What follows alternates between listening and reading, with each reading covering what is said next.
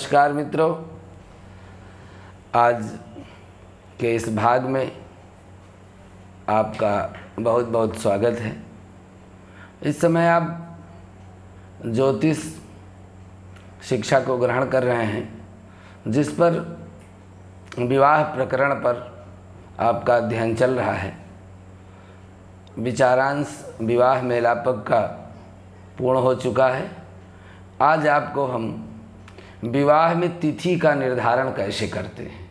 इस बात पर आपको बताएँगे कि विवाह की विधि विधि में तिथियों का निर्धारण कैसे करना चाहिए। सबसे पहले आज का दिव्य प्रयोग आपको देते हैं। आज निर्जला एकादशी है। निश्चित रूप से जीवन को संवारने के लिए एकादशी तिथि का बड़ा महत्व है। हमारे सनातन धर्म में जितने भी ऋषि, मुनि, गृहस्थ, सन्यासी, वानप्रस्थ स्त्री, पुरुष, बालक कोई भी हों, व्रतों में सबसे श्रेष्ठ एकादशी का ही व्रत है। तो इस पर आपको एक दिव्य प्रयोग देते हैं। राम, रामेति रामेति। रमे रामे, मनोरमे सहस्रनाम तत्तुल्य श्री राम नाम बरानने भगवती माँ सती एकादशी का व्रत, निसंदेह, भगवान भोलेनाथ को भी प्रिय है। उसी का एक सूक्ष्म रूप देते हुए भगवान भोलेनाथ माता पार्वती से बताते हैं कि यदि एकादशी में विष्णु सहस्त्र नाम का पूरा पाठ समयाभाव के कारण न कर सकें तो केवल एक श्लोक से आपको विष्णु सहस्त्र नाम के पूरे पाठ का फल मिल सकता है। और वह यही श्लोक है। इस श्लोक का पाठ यदि आप शीघ्रता में कर लेते हैं, एकादशी के दिन इस पाठ का वैसे भी बहुत महत्व है। हमारे जीवन में विष्णु सहस्त्र नाम सुख, शांति और गृहस्थ जीवन के सारे सुखों को हमारे जो है ताप, रोग, संताप को दूर करने वाला है। तो यह भगवान शिव माता पार्वती को कहते हैं कि अय बरान ने यदि पूरा विष्णु शास्त्र नाम आप नहीं कर पा रहे हैं तो केवल एक श्लोक से आपको विष्णु शास्त्र नाम के पाठ का पूरा फल मिल सकता है। आप लोग भी इसको अपने जीवन में निश्चित रूप से ग्रहण करें। बहुत कल्याणकारी प्रयोग है। एकादशी के दिन इसका एक बार भी पाठ कर लिया जाए तो विष्णु सहस्त्र नाम के पाठ के बराबर यह पाठ हो जाता है। अब हम आपको आगे ले चलते हैं। विवाह निर्धारण। विवाह की तिथि का निर्धारण भी एक कठिन प्रयोग है, पर इसको इतनी सरल विधि से हम आपको बताएँगे। और आज एक ऐसा आपको प्रयोग बताएँगे, ऐसी विधि बताएँगे, जिस पर यदि आप बिल्कुल कम पढ़े लिखे हैं, और फिर भी यदि विवाह की लग्न के निर्धारण में आपको कोई टोक नहीं सकता है। ये एक बहुत अच्छी बात होगी। बाद में इसको बताते हैं। पहले ये निश्चित करते हैं कि विवाह की तिथि का निर्धारण करने के लिए सबसे पहला आवश्यक बिंदु क्या है? तो उस पर सबसे पहला आवश्यक बिंदु है मित्रों, वर्ष का निर्धारण कि हमको किस वर्ष में हम विवाह कर सकते हैं। वर्ष के निर्धारण के लिए सबसे पहले गुरु का महत्व दिया गया है, क्योंकि गुरु एक वर्ष में राशि परिवर्तन करते हैं और गुरु का विचार कन्या के लिए आपको करना है। कन्या की राशि से चौथे, आठवें और बारहवें भाव में बृहस्पति जिस वर्ष ना पड़ेंगे, उसी वर्ष आप विवाह कर सकते हैं। कहते हैं कि विवाह के इस कार्यक्रम में यदि बृहस्पति कन्या के चौथे, आठवें, बारहवें हो रहे हैं तो उस उस पर क्या परिहार होना चाहिए? तो वर्ष निर्धारण में सर्वप्रथम आपको देखना है कि सिंहस्थ गुरु ना हो और मकरस्थ गुरु ना हो। मकरस्थ और सिंहस्थ गुरु कुछ स्थानों के लिए वर्जित किए गए हैं। पहले पंचांग में आप गुरु का विचार करेंगे, तभी वर्ष का निर्धारण करेंगे कि आपका विवाह अमुक वर्ष में हो सकता है। दूसरा, लुप्त संवत्सर ना हो।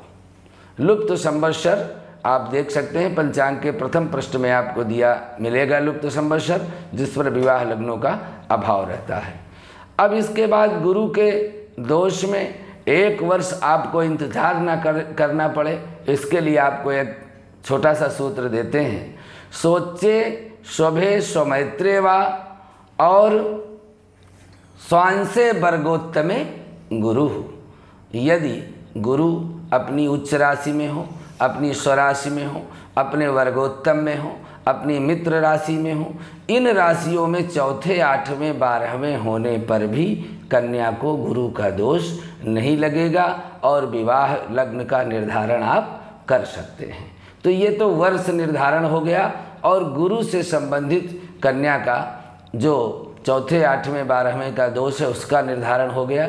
इसके अलावा भी आप देख सकते हैं कि गुरु यदि पूज्य स्थान में है शुभ स्थान में है तो बहुत श्रेष्ठ है। पूज्य स्थान में है तो गुरु का दान कन्यादान के पूर्व किया जाता है। उसको करके भी आप अपने इस विवाह को मंगल में बना सकते हैं। दूसरा है मास का निर्धारण। महीने कौन से विवाह में रखने चाहिए? तो वैसे तो एक वर्ष में बारह महीने होते हैं। बारह महीने में जो महीने विवाह के लिए निश्चित किए गए हैं, उसमें सबसे पहला महीना है वैशाख। मेघ के सूर्य, ज्येष्ठ ब्रख में सूर्य और मिथुन अर्थात आषाढ़ का महीना, आषाढ़ शुक्ल पक्ष की दसवीं तक आप विवाह मंगल पूर्वक कर सकते हैं। इसके अलावा माघ, फाल्गुन और मार्गशीर्ष, ये तीन महीने और हैं। बारह महीने में छः महीने विवाह के लिए उपयुक्त हैं। इन महीनों में आप निर्धारण कर सकते हैं। और इस पर ध्यान क्या देना है? बर के लिए सूर्य देखना है। बर की राशि से सूर्य जिन महीनों में चौथे, आठवें, बारहवें ना हो। यदि बर मेष राशि के हैं और आपको बैसाख के महीने में विवाह करना है तो जन्म के सूर्य हैं, उच्च राशि में हैं, कोई दोष नहीं है, आप विवाह कर सकते हैं, क्योंकि मेघ के सूर्य अपनी उच्च राशि में रहते हैं। तो इन महीनों में आप तिथि का निर्धारण करें। यदि कोई वृष राशि का जातक है, बैसाख के महीने में विवाह करना चाहते हैं तो बारहवें सूर्य हैं, लेकिन उच्च के होने से उनको भी दोष नहीं लगेगा। यदि किसी भी महीने में बर के चौथे आठवें सूर्य हो रहे हैं और आपको विवाह करना है तो उसके अगले महीने में, चूँकि सूर्य हर महीने राशि बदलते हैं तो उसके अगले महीने में जा कर के आप मास का निर्धारण कर सकते हैं। ये आपका दूसरा बिंदु हो गया। तीसरा बिंदु है दिन और तारीख का निर्धारण। दिन का निर्धारण चंद्रमा से करते हैं। चंद्रमा उभयोस्त चंद्रबलम बर और कन्या दोनों की राशि से जिस दिन, जिस नक्षत्र में विवाह के जिस नक्षत्र में चौथे, आठवें, बारहवें चंद्रमा ना हो, उस तिथि में आप विवाह कर सकते हैं। चंद्रमा का दोष यदि खष्टम और द्वादश में परिहार है, लेकिन अष्टम में बिल्कुल चंद्रमा न होने चाहिए। षष्ठम, अष्टम में चंद्रमा होने पर चंद्रमा के दोष को टालना चाहिए, क्योंकि चंद्रमा मन का कारक है। यदि छठवें भाव में चंद्रमा है या आठवें भाव में चंद्रमा है तो कहीं ना कहीं उस विवाह में कुछ दोष लग सकते हैं, मानसिक दोष लग सकते हैं। इसलिए चंद्रमा का निर्धारण आप इस विधि से कर सकते हैं। इसके लिए पंचांग में आपको गुरु, सूर्य और चंद्र शुद्धि का एक चक्र दिया जाएगा। उसमें पूज्य स्थान, शुभ स्थान और निंदित स्थान अलग अलग दिए गए हैं। आप जो ही अपनी राशि के अनुसार उसमें देखेंगे तो बड़े सरल विधि से आप उसको समझ जाएँगे। ज़्यादा इसमें कोई आपको दिक्कत होने वाली नहीं है।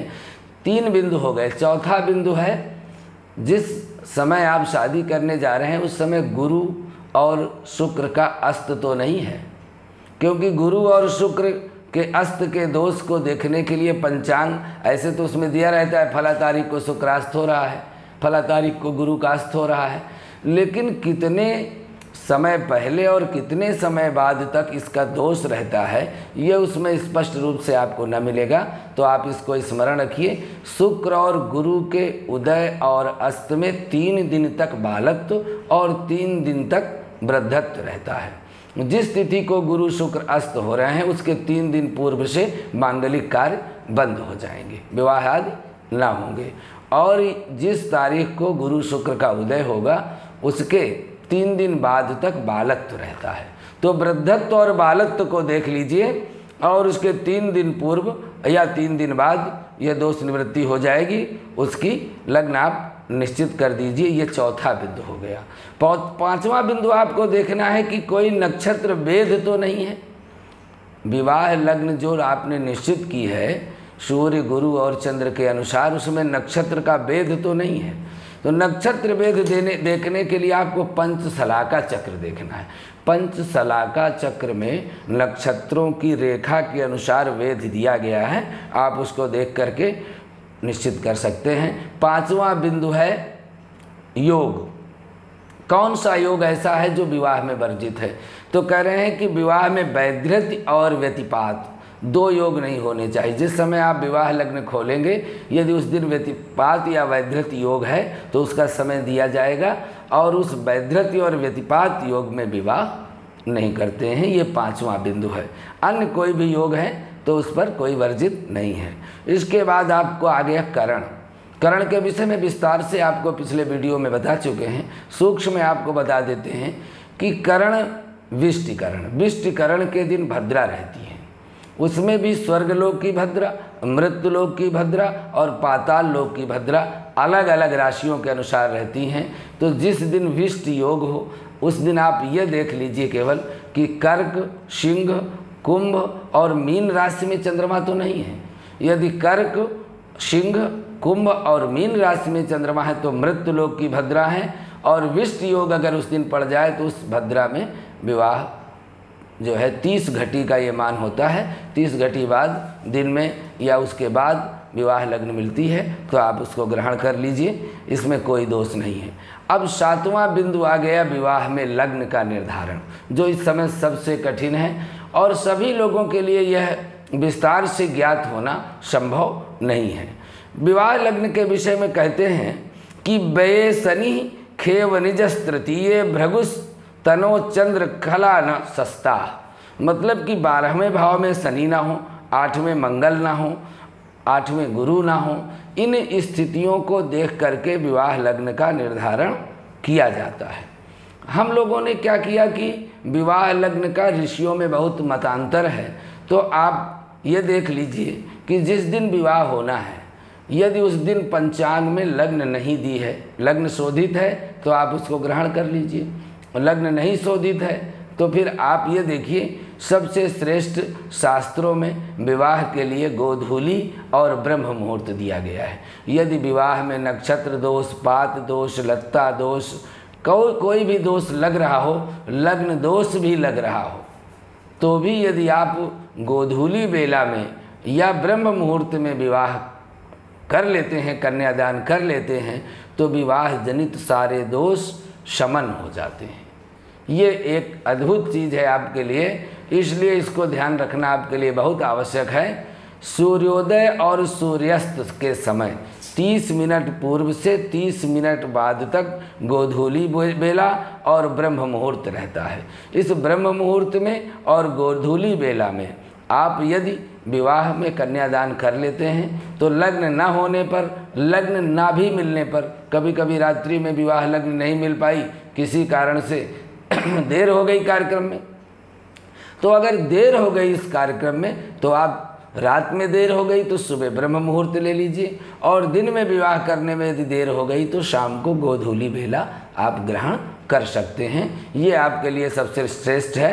इसके अलावा भी आपको हम ये बता दें कि विवाह का विचार जो हम करते हैं तो लग्न चक्र शुद्धि देख लेते हैं। सरल विधि यह है। सरल विधि यह है कि आप पंचांग खोलिए। जिस दिन आपने लगन निश्चित की है, उस दिन का लग्न निर्धारण देखिए। यदि उसमें ला लिखा है, ला माने लग्न। ल लिखा है और ल के आगे छः पाँच, सात, आठ, नौ, दस, ग्यारह, कुछ भी लिखा है। छः लिखा है तो कन्या आठ लिखा है तो वृश्चिक, नौ लिखा है तो धनु, एक लिखा है तो मेष, ये लग्न लिखी हुई है। उस लग्न का समय आप लग्न सारणी में देख करके वही लग्न आप निश्चित कर सकते हैं, क्योंकि किसी भी पंचांग में यदि लग्न शुद्धि नहीं है तो ला नहीं लिखा होगा। विवाह की बेला तो और सब लिखी होंगी व्यतिपात दोष, नक्षत्र, दोष, सब कुछ लिखा होगा, लेकिन यदि ला नहीं लिखा, ला माने लग्न। और लग्न अगर लिखी हुई है तो संशोधित होगी, तभी पत्राकार लग्न लिखेगा। आपको ज़्यादा कुछ देखने की आवश्यकता नहीं पड़ेगी। ला जहाँ पर लिखा है, उसके आगे जो गिनती लिखी है। आठ लिखी है तो मानो वृश्चिक है। अब आप लग्न सारणी में देखिए कि वृश्चिक लग्न कितने बजे से कितने बजे तक है। उसी लग्न का निर्धारण आप कर सकते हैं। ये विवाह का सूक्ष्म में आपको हमने लग्न विचार बताया। आपको शायद समझ में आया होगा। न भी इसमें कोई विषय आपको समझ में आया हो तो आप निश्चित रूप से अपने कमेंट बॉक्स में इस पर पूछ सकते हैं। दूसरा क्या है कि विवाह का विचार जब हो जाए, बारात दरवाजे पहुँच जाए, उस समय विवाह विचार के विषय में कोई चर्चा करना दोष है। वहाँ पर लग्न विचारना दोष है। बारात पहुँच चुकी है। अब लग्न विचार का कोई समय नहीं है। वहाँ पर जा कर के, यदि हम पत्रा खोल करके अपने ज्ञान को दिखाने के लिए, सामने वाले आचार्य को समझाने के लिए हम कहते हैं, आपने ये गलती की, आपने ये की, ऐसा करना बिल्कुल निषेध है। आप पहले से जो भी देख चुके हैं, यदि बारात पहुँच चुकी है, लग्न नहीं है तो गोधूली और ब्रह्म मुहूर्त की लग्न आप ग्रहण कर सकते हैं। बाकी उस समय जो आचार्य जी बता चुके हैं, वही उनके लिए श्रेष्ठ है, क्योंकि शास्त्र में कहा गया है कि ब्रह्म वाक्य जनार्दन। यदि ब्राह्मण ने कोई वाणी दे दिया है तो भगवान उस वाणी को पूरा करने के लिए उस ब्राह्मण की वाणी से सारे दोषों की निवृत्ति करते हैं। इसलिए वही श्रेष्ठ है। चार पुत्र आपके हो जाएँ तब कोई पंडित जी आपको मिल पाए अब वो कह दें कि विवाह में गणमैत्री दोष है, फिर आप पंडित जी को दोष दें। ऐसा करना बिल्कुल सर्वथा निषेध है। विवाह होने के समय या विवाह होते समय इन सब चीज़ों का विचार या विवाह के बाद विवाह का विचार नहीं करना चाहिए। क्यों? पता नहीं उसमें कितने दोष लगे थे, लेकिन अच्छी लग्न में कन्यादान हो गया तो वो दोष नहीं लग आपको लगे? उस दोष से आप निवृत्त भी हो गए। लेकिन मन में किसी तरह की कोई बात यदि आ जाती है, कहते हैं कि मन एवं मनुष्याणाम सुख दुख से कारण। सुख और दुख का मेन कारण मन है। इसलिए आजकल लोग पहले बहुत अच्छे से ध्यान न देंगे। बड़े बड़े पंडितों से अच्छी लग्न, विचारांश तो करवा लेते हैं, लेकिन लग्न में पाणी ग्रहण संस्कार नहीं करते हैं। आप कितने बड़े डॉक्टर से आप अपना दिखवा लीजिए, लेकिन उसकी दवा ना खाइए। उस लग्न में विवाह ना करिए तो आपके कोई भी दोष निवृत्त नहीं होंगे। कितना भी अच्छा विवाह बनता हो, और आप लग्न छोड़ दीजिए, और जब मनावे तब शादी करिए कि विवाह तो पंडित जी ने बता दिया, बहुत अच्छा बनता है। तो फिर शास्त्र हमारा कहता है कि यदि विवाह न भी बनता हो, विवाह में सारे दोष आ रहे हों, लेकिन लग्न बल सबसे श्रेष्ठ बल है इसीलिए विवाह में विवाह ही नहीं, जीवन में सुख दुख के समय सबसे पहले लग्न कुंडली देखते हैं। लग्न कुंडली के बाद चंद्र कुंडली देखते हैं। चंद्र कुंडली के बाद सूर्य कुंडली देखते हैं और सूर्य कुंडली के बाद गुरु की कुंडली देखते हैं। तो लग्न बल इतना श्रेष्ठ होता है कि उस लग्न बल के प्रभाव के कारण विवाह में आने वाले समस्त दोष नष्ट हो जाते हैं। इसलिए हमारी तो यही राय है कि आप पहले से लग्न का समय निश्चित करके उस लग्न के समय में कोई भी कार्य ना करें। तो निश्चित रूप तो सुख दुख का कारण केवल मन है, इसलिए ऐसी कोई बात मन में न रखते हुए आज हम सबसे ज़्यादा दुखी क्यों हैं? अपने मन के कारण। मन को हम समझा नहीं पा रहे, जब शादी हो जाती है, तब कोई पंडित जी मिल गए तो विचारांश कराते हैं। देखिए, गाँव क्षेत्र में कहीं कहीं अच्छे आचार्यों का अभाव है। लेकिन उनके पास दो गाँव, चार गाँव, दस गाँव, तमाम क्षेत्र में वो पंचांग के आधार में लग्न निर्धारित कर देते हैं तो उनकी बात पर कभी कोई बहस न करते हुए हम उनसे यही कहेंगे कि आप पंचांग में जहाँ ला लिखा हुआ है उसी लग्न को देख करके और आप आगे का विचार कर सकते हैं। इसलिए पंडित जी से कोई बहस ना करके अपनी ज़िम्मेदारी को भी निर्वाह करते हुए यदि ऐसी परिस्थितियाँ कोई भूल बस हो गई हैं तो आप अच्छी लग्न में कन्यादान करिए। कुछ भी विवाह में न बनता हो और गुण भी न बनते हों, गण, नाड़ी, मैत्री, ग्रह, मैत्री कुछ न बनती हो। पर एक अच्छी लग्न में कन्यादान कर देने से विवाह जनित एक लाख दोष गुरु के बल के कारण नष्ट हो जाते हैं। इसलिए इस बात को ध्यान में रखना चाहिए। गतम न सोचामि कृतम न मन में खादन न गच्छामी, हसन न जल पे बीती हुई बात को बहुत नहीं सोचना चाहिए। बहुत सोचने से चिंता का कारण बनती है। चार मंजिला मकान जब आप बना के रहने लगे, तब किसी वास्तुशास्त्री को बुला करके वास्तु का विचार करावें, ये कोई बुद्धिमानी नहीं है आज के लिए। बस इतना ही। कल या अन्य दिन आपको फिर एक अच्छा जो भाग चल रहा है, अब आपको विवाह अनुक्रमणिका पर ले चलेंगे। क्योंकि हमने तारीख निर्धारित तक कर, निर्धारण करने तक का आपको बता दिया है। आगे के वीडियो में किस तरह से हम लग्न पत्रिका लिखेंगे, किस तरह से हम विवाह की वेदी का निर्माण करेंगे, और उसमें कौन कौन सी प्रमुख चीज़ें हैं विवाह कर्मकांड में जो आचार्य के लिए आवश्यक हैं और जो सावधानियाँ सभी लोगों के लिए आवश्यक हैं। बिल्कुल सरल विधि से आपको देने का प्रयास करेंगे। नमस्कार।